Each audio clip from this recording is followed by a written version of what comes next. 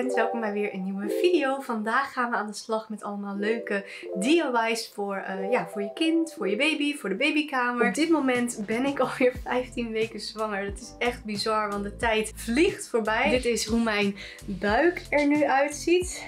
Met 15 weken. Ja, 15 weken alweer. Op Pinterest heb ik zoveel leuke DIY baby projecten gezien. Dus die wil ik ook zeker met je delen in deze video. Ik ga laten zien welke dingen ik uiteindelijk zelf heb gemaakt. En voordat we gaan beginnen wil ik natuurlijk nog even een momentje voor de sponsor van deze video. En dat is namelijk Cricut. Cricut staat voornamelijk bekend om alle snijmachines. Ik heb zelf de Cricut Joy waar ik echt mega blij mee ben. Maar ze hebben ook nog meer zoals bijvoorbeeld de Easy Press. En daarmee ga ik aan de slag in deze video. Wat ik heel erg spannend vind omdat ik hem echt voor het eerst ga gebruiken. En sinds kort hebben ze dus ook de Mug Press toegevoegd aan het assortiment. En daarmee kun je dus bekers bedrukken. Heel erg gaaf. En daarmee ga ik volgende keer aan de slag. Dus nogmaals een dikke shout-out naar Cricut voor het sponsoren van deze video. Want mede dankzij jullie heb ik straks genoeg geld om uh, luiers te kunnen kopen voor ons kindje als de baby is geboren. En zoals altijd zou ik zeggen, ga er lekker voor zitten. Pak er wat lekkers bij. En dan gaan we snel beginnen met deze video.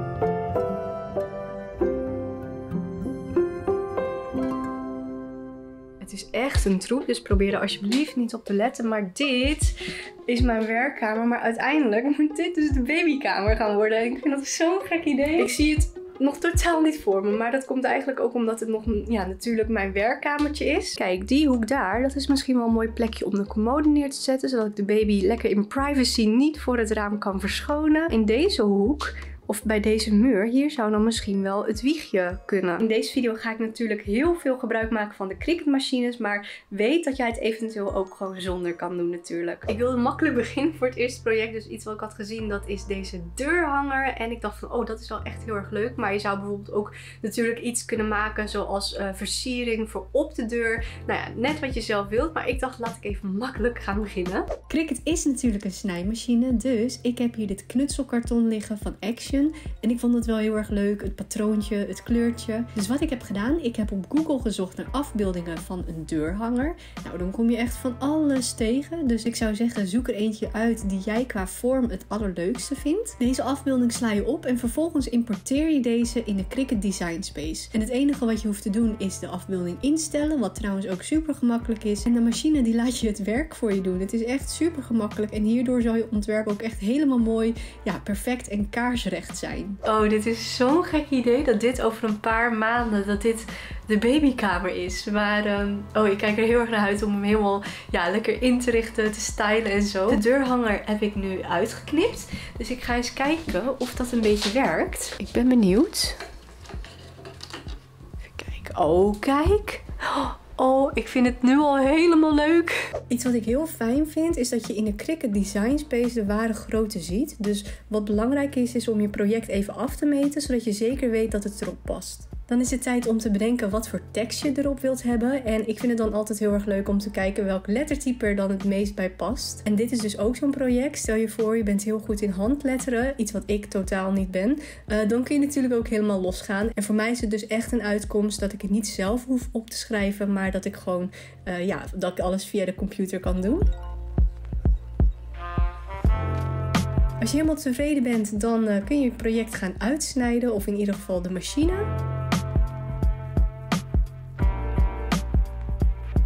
Dan is het een kwestie van opplakken. En je kunt dit natuurlijk in zijn geheel plakken. Maar ik vind het gewoon fijn om alles los uit te knippen. En om dan zo te bepalen waar ik alles precies wil hebben. Nou, het is echt heel erg leuk geworden. En ik denk dat het bij elkaar ook echt heel erg leuk gaat staan. En om het op te plakken ga ik deze transfer tape gebruiken. Vervolgens neem ik mijn transfer tape. En het fijne hieraan is dus dat je niet alles zelf los hoeft op te plakken. Maar dat je het gewoon in zijn geheel in één keer een soort van, uh, ja, letterlijk kan kopiëren en plakken. Zodat het er gewoon super strak uit komt te zien.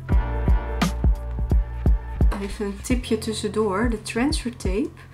Die um, doe ik best wel vaak hergebruiken. Dus die plak ik dan gewoon weer terug op zo'n plasticje. En dan kun je hem gewoon volgende keer nog een keer gebruiken. En als je het mij vraagt, alles wat een gezichtje heeft, dat is gewoon meteen tien keer zo schattig. Ik word er gewoon helemaal blij van. Dit is hem geworden. En dit is dus de voorkant. En de achterkant ik dacht, ik ga gewoon in één keer door, nu ik toch bezig ben. Dus daar heb ik dit van gemaakt. Heel schattig. En dan met deze tekst erop, een bloemetje erbij. Dus uh, zo zie je ook maar weer als je andere kleuren gebruikt, dat het echt meteen een hele andere uitstraling heeft. Ik moet zeggen dat door de belichting van het filmen valt het wit een beetje weg. Maar in het echt zie je het wel een stukje, stukje beter. Echt een super makkelijk project. En dit zou je bijvoorbeeld ook heel goed kunnen doen met het recyclen van bijvoorbeeld een cereal box. Een cereal, cornflakes, muesli box. En misschien met stiften, met verf of met stickers. Maar uh, dit is hoe die van mij is geworden. Het volgende wat ik best wel veel voorbij zag komen, dat zijn dividers voor in de kledingkast. En ik dacht van oeh, dat is eigenlijk heel erg makkelijk. Ik kan natuurlijk nog niet vanuit mijn eigen ervaring spreken. Maar ik kan me best wel voorstellen dat je zo nu en dan kleding cadeau krijgt. Met een baby shower of als mensen op kraamvisite komen. En zoals je weet, ik hou van praktisch. Ik hou van opruimen. Daar ga ik helemaal lekker op. En met deze dividers kun je dus alle kleding helemaal mooi onderverdelen op maat. Zodat je gewoon in één oogopslag kunt zien welke kleding uh, je moet pakken voor die dag. Kijk, ik heb hier weer zo'n papierblok van Action. En um, ja, ik denk dat ik gewoon een beetje lichte en neutrale kleurtjes ga kiezen hiervoor. Dit knutselkarton heeft twee kanten, dus ik heb ervoor gekozen om twee vellen op elkaar te plakken en dan met de uh, niet goede kanten tegen elkaar aan. Zo zijn de kledinghangers niet alleen steviger, maar heb je aan allebei de kanten het design wat je mooi vindt.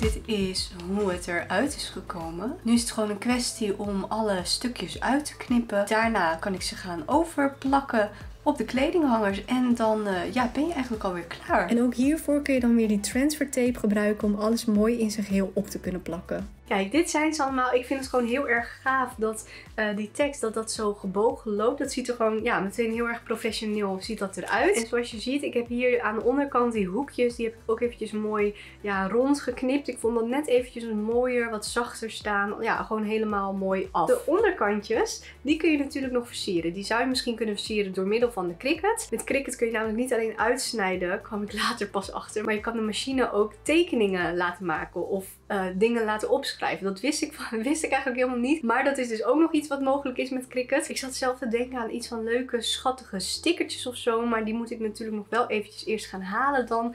Dus ik uh, heb ze eventjes voor nu zo gelaten. Maar dit is dus zeker een project waar ik later nog mee aan de slag ga. Als ik het eenmaal heb gemaakt, dan zal ik het wel op mijn Instagram story zetten. Dus mocht je me daar nog niet volgen, dan zou dat natuurlijk super gezellig zijn. En uh, zo zie je maar dat je dit ook weer helemaal kunt maken zoals jij het leuk vindt. En nog iets wat ik heel veel voorbij zag komen, dat zijn deze, ja, ik weet niet hoe je het noemt, geboortelijstjes of zo. Dus als je kindje geboren is, dan kun je daar bijvoorbeeld uh, het gewicht, uh, de lengte of nou, de datum of de tijd, nou, wat dan ook. Ik vind het zo ontzettend leuk dat je dat dan bijvoorbeeld op de babykamer kunt zetten. Maar ik ga er natuurlijk nog even mee wachten, omdat ik ja, nog zwanger ben. Maar iets wat ik ook zag en wat er ook wel een klein beetje op lijkt, dat is dat je dan bijvoorbeeld de eerste letter van je baby's naam, dat je die op een lijstje maakt en dat je die ook zo in de kamer kunt zetten. Heel erg leuk. Voor de duidelijkheid, we hebben nog geen idee wat het wordt. Een jongetje of meisje weten we nog niet. Uh, de naam hebben we dus eigenlijk ook nog niet bedacht. We hebben natuurlijk wel een lijstje met namen voor onszelf.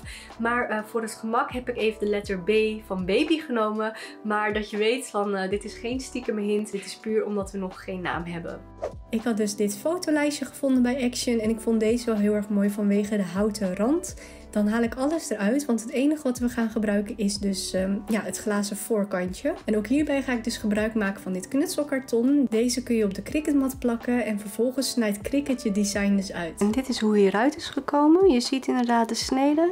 Dus um, oh, echt heel erg leuk dat je dit ook zo kan doen. Nog een tip, dat is namelijk om alle kleine losse stukjes eerst los te peuteren voordat je je hele design in één keer van de mat afhaalt. Geloof mij, dit zal een hoop frustratie schelen. Oh, kijk hoe leuk. Hij is echt perfect. Ja, hij is gewoon echt heel goed gelukt. Je kunt het natuurlijk zo laten, maar ik vond het wel leuk om een soort van ja, 3D-effect te creëren. Dus diezelfde vormen ga ik nog een keer uitsnijden, maar dan met een andere kleur. Dit plak ik eerst op elkaar en als ik dan helemaal tevreden ben, dan plak ik het vervolgens op het glas. Dit is hem geworden en ik vind het heel erg leuk dat je een soort van ja, 3D effect krijgt omdat ik dus verschillende lagen heb aangebracht. En dit is de achterkant van het lijstje. Je hebt hier dus die haakjes waarmee je normaal gesproken het fotootje dat je die vast kan klemmen. Maar die heb ik omgebogen en ik heb in de hoeken heb ik het uh, glazen plaatje met een lijmpistool heb ik uh, bevestigd aan het lijstje. Dat kun je misschien ook met verf of met stickers of nou ja, wat dan ook kun je dit maken. Misschien dat je ook gedroogde bloemen bij kunt plakken. Ik denk dat ik deze zeker nog een keer keer gaan maken wanneer we de uiteindelijke naam weten. Misschien wist je dit nog niet, maar ik heb biologie gestudeerd. Dus nou, je kan je voorstellen dat ik heel erg van de natuur hou en dat ik dat ook ja, e-, echt wel heel erg belangrijk vind. Dus dat is zeker iets wat ik mee wil geven in de opvoeding. Het volgende wat me heel erg leuk leek, dat was iets met dieren of met voetafdrukjes of met eh, de wereldbol. Nou, je hebt hierbij heb je ook weer veel verschillende opties. En wat ik dus uiteindelijk tegen ben gekomen, wat ik heel erg leuk vind, dat is dus zo'n uh, ja, voetafdrukkaart. Ik heb deze lijst gevonden en hij is best wel groot, maar ja, dat mag ook wel voor uh, dit project. En deze heeft een hele mooie ja, gouden, uh, gouden lijst. Op internet had ik deze afbeelding gevonden en die vond ik dus heel erg leuk om te gebruiken. Dus wat ik nu doe is allereerst in Photoshop alle voetafdrukjes los uitsnijden. En die kun je dan vervolgens weer importeren in een Cricut Design Space. En als je het leuk vindt, dan kun je natuurlijk ook de tekst erbij plakken. En vervolgens ben ik alles gaan positioneren tot ik er helemaal tevreden mee was. En het belangrijke hierbij is dus dat je zoveel mogelijk ruimte wilt besparen en dat het uiteindelijk op je cricketmat past. En dan is dit hoe het eruit komt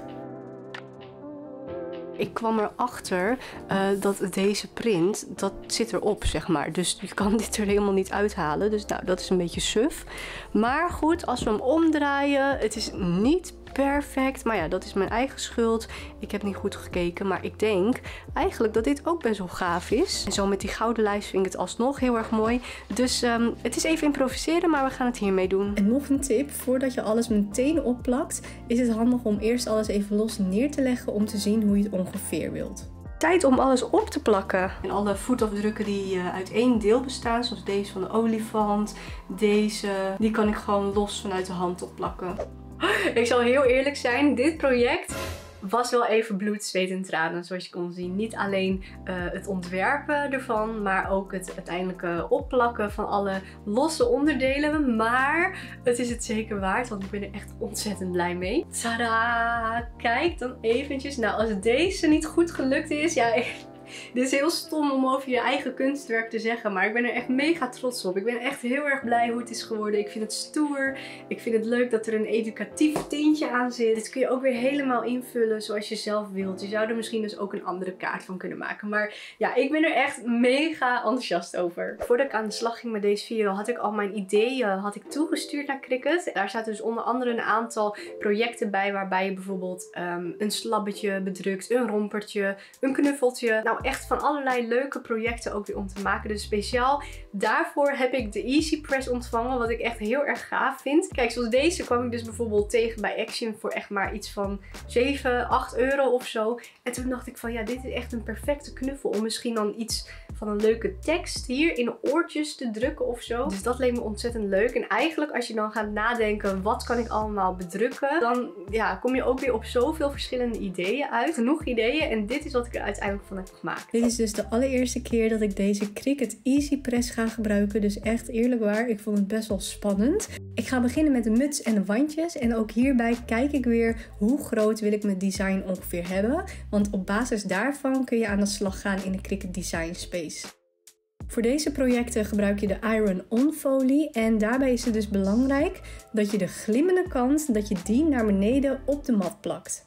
En alle negatieve die haal je er natuurlijk weer van af.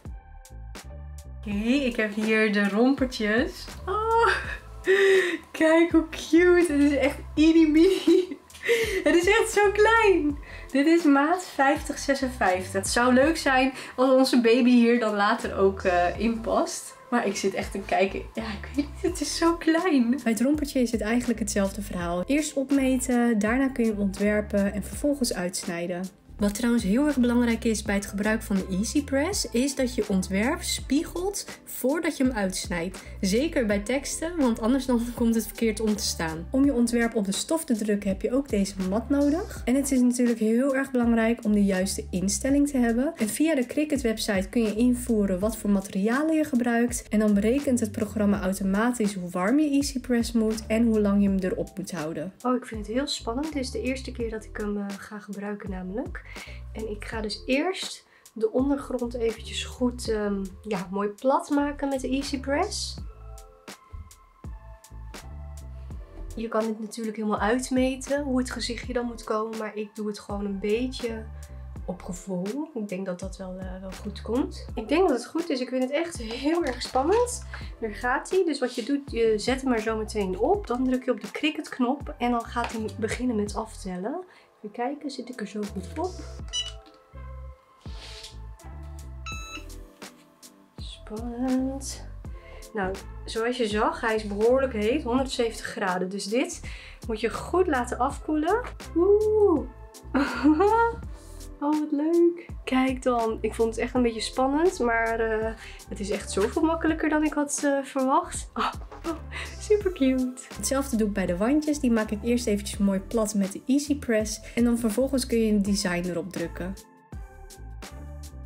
Even laten afkoelen en dan het plasticje eraf en klaar is Kees. Ik vind dit gewoon echt fantastisch, omdat je het gewoon zo leuk kunt personaliseren. Daarmee is het bijvoorbeeld ook heel erg leuk om dingen cadeau te geven. Kijk dan eventjes hoe schattig bijvoorbeeld dit mutsje met deze wandjes. Dit, ja, hoe leuk dit is geworden. Echt zo schattig. Dus ik hoop dat ons kindje groot genoeg is volgend, uh, volgend jaar dan om, uh, om dit aan te kunnen.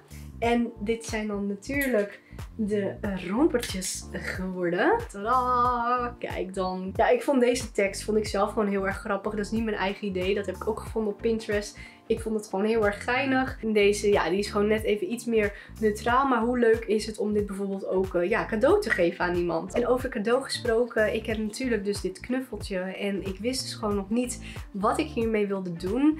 Uh, en toen dacht ik bij mezelf van, weet je wat, misschien is het ook wel leuk om iets aan je weg te kunnen geven. Dus uh, ik wil eigenlijk een hele soort spontane winactie houden. wat je kan winnen is dus dit knuffeltje. En uh, de winnaar mag dus uiteindelijk bepalen wat ik in de oortjes uh, ga afdrukken met, uh, met tekst of afbeelding of nou ja, wat dan ook. Dus deze die kun je winnen. Ik zou zeggen bekijk eventjes de videobeschrijving om te zien hoe je kunt meedoen, wat de spelregels zijn. want ik heb dit nu echt zo super spontaan bedacht. Dus ehm, ja, mocht je kans willen maken, check de videobeschrijving. De projecten die je zag in deze video, maar die nog niet af zijn, zoals bijvoorbeeld nou ja, de knuffel en de kledinghangers, die zal ik binnenkort wel op mijn Instagram story zetten. Hoe dat nou uiteindelijk is geworden. Dus mocht je daar benieuwd naar zijn en volg je me nog niet op Instagram, dan zou ik dat natuurlijk super gezellig vinden. En over Instagram gesproken, hier kun je Cricut ook vinden. En zij posten daar heel veel inspiratie op over allerlei leuke DIY projecten. Uh, ze reposten ook heel vaak projecten van uh, gebruikers in hun story. Dus mocht je dat leuk vinden, dan kun je daar ook zeker een kijkje naar nemen. Ik wil je heel erg bedanken voor het kijken. Ik vond het super leuk dat je er was. Vergeet zeker niet om deze video een duimpje omhoog te geven als je het leuk vond. Ja, en laat vooral weten in de comments wat voor projecten jij allemaal gaat maken. Ik wil Cricut natuurlijk nogmaals bedanken voor deze samenwerking en uh, het sponsoren van deze video en de luiers voor ons toekomstige kindje. Heel erg leuk dat je was en tot de volgende keer weer. Doei!